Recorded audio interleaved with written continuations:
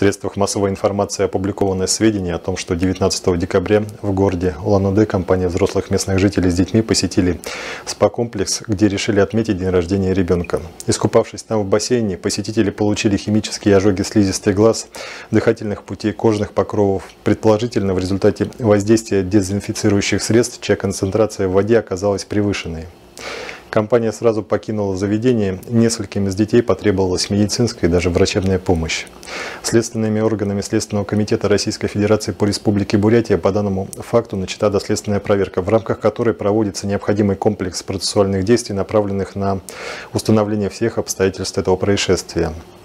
Пробы воды из бассейна будут подвергнуты химическому исследованию, а для определения тяжести вреда, причиненного здоровью пострадавших, будут назначены судебно-медицинские исследования. По результатам доследственной проверки будет принято соответствующее правовое решение. Подписывайтесь на наш канал, чтобы всегда быть в курсе событий.